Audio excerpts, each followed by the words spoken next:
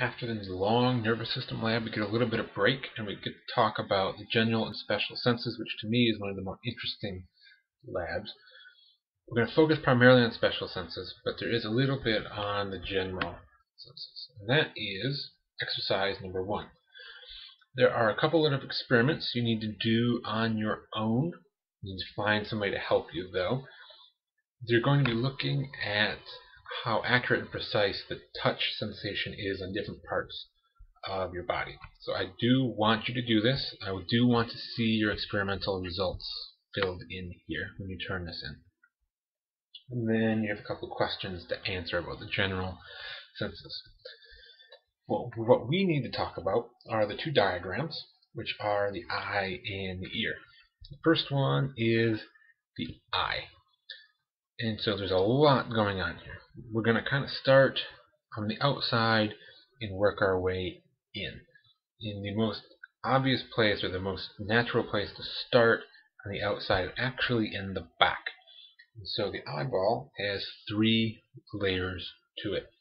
The outermost layer, which is the white of your eyeball, labeled here, is the sclera. Under that, which is kind of a pinkish color in this diagram, labeled here is the choroid. And under that, which is yellow here, is the retina. And the retina is the actual sensing part of your eye. And if we follow it back, notice that it actually turns into this little structure that disappears off the right hand of the diagram. This is the optic nerve. The retina and the optic nerve are the same thing. They just are in a slightly different place and look slightly different, but they are one continuous structure. In the retina, you see this little depression here. This is the fovea centralis. When you look at something, the center of your vision is in this little spot. This is where most the, the most dense area of light receptors is. So when you're looking at something, that's why when you, you need a clear picture of it, you're going to look directly at it. If you use peripheral vision, you're not going to see it as well. Now we're going to jump back up to the front. So obviously we can't have a white sclera in the front of our eye because the light needs to get through. And so in the very, very front, we have a clear cornea.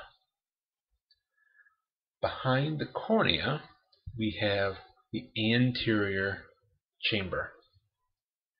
It's the anterior chamber because it is anterior to the iris, which is this structure here. Behind the iris, but in front of the lens here, is the posterior chamber running through the center of your pupil. Remember, the pupil is the colored part of your eye. Running through the center of the iris is the pupil, which is where the light enters your eye. The pupil can get larger or smaller, and that can control how much light is getting into the eye. So the light goes through the pupil and into the lens. The lens, lens is a fluid-filled kind of sac that as we change its shape, we change the focus of the light. So connected to the lens, here, on the top and the bottom, is the ciliary body. And this is essentially a muscle that can pull on that lens to change the focus. So that would be considered in, in an intrinsic eye muscle inside, but we also have extrinsic eye muscles outside the eye that help move the eye itself, pointing in different directions. So that would be this here. Back behind the lens, we have the largest part of our eye, and this is the vitreous body. So I'm just making sure that I covered everything. It looks like it. So we can move on from the eye to the ear. But for that, there's some questions for you to answer. If somehow, some way you have an extra eyeball laying around home and you want to dissect that, be my guest. Uh, obviously, that's not going to happen. So my suggestion is go online, find a picture of a sheep eye dissection. That's the kind of eye that you would dissect if you took this in person. Find that. What you'll see is it doesn't look anything at all like that. Okay? it's everything looks very similar. It's hard to pick one part out from another, but you will in fact see almost all of these structures. Then there's the ear. In the ear, we're going to break down into three main parts. The outer ear, middle ear, and inner ear. The outer ear is the eardrum and out. so this cursor here here we go. Number four is the eardrum. So that and everything out is the outer ear. So that includes number 12, the auditory canal, which is this area where the sound is actually going to come into your head. And the actual part of the ear that sticks up out off of your head, which is the pinna. So that's the outer ear. There's not much going on out here. Once we get past the eardrum, we get into the middle ear. And so the middle ear's main function is to transfer vibrations from the outer ear to the inner ear. And that's where these little bones are going to come in. These are the auditory ossicles, but each one has its own specific name. Number three, the one that attaches to the eardrum, kind of looks like a triceratops here, is the malleus. Connected to the malleus is number two, the incus. And then after the incus is the stapes. The stapes is this little two-pronged fork-looking piece here, and that is going to transfer the vibrations from the middle ear to the inner ear. Also in the middle ear, we have this area here where the, the ossicles are, are located, which is the tympanic cavity. And then the tympanic cavity drains down this way. This is the eustachian tube. This actually drains down into your throat.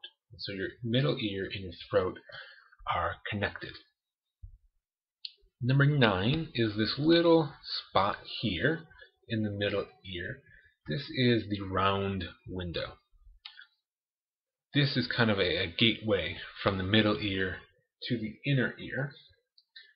And then in the inner ear, this large snail spiral looking structure here is the cochlea, number seven. This is where most of the actual hearing is going to occur. Up top, number six, are the semicircular canals. This is where the equilibrium and movement and g-forces are going to be sensed. Number eight is the cranial nerve. Now notice, part of that cranial nerve comes down here to the cochlea, where the hearing occurs, and part of it comes up here to the semicircular canals, where equilibrium is sensed. And so it's a shared nerve here. Uh, I think that's everything. Yep.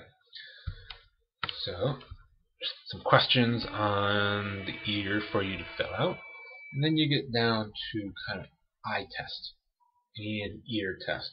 The eye test, I want you to do this. Okay, this is easy enough. Go online, search for Snellen eye chart and astigmatism chart.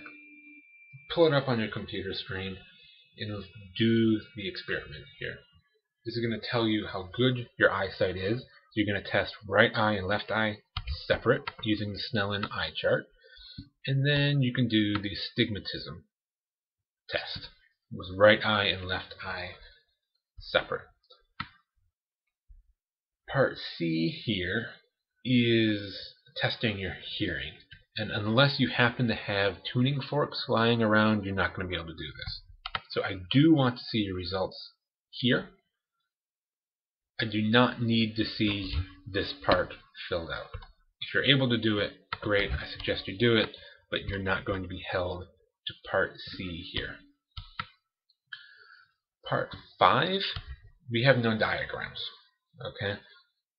It's, but this is looking at the nose and the tongue. For the tongue, I think if you saw a picture of it on a lab exam, I think you could pick out a picture of a tongue if I showed you a picture of a tongue. The papilla are the bumps on the tongue. The bumps on the tongue are not taste buds. Taste buds are microscopic. Taste buds are on the papilla. All you need to be, be able to do is be prepared to tell me, yes, that's a tongue, and the bumps on the tongue are papilla. For the nose, you need to know that the cranial nerve connected to the nasal cavity is cranial nerve 1. You need to know that the big open area behind your nose is the nasal cavity. That's it. Don't worry about olfactory bulb, olfactory tract, or olfactory epithelium. If you were in the lab in person, we had the model, you would have to know those. But I guess this is your lucky day because they didn't include a diagram. You are not going to be held to that standard. So you don't need to know those three. And that is the end of this lab.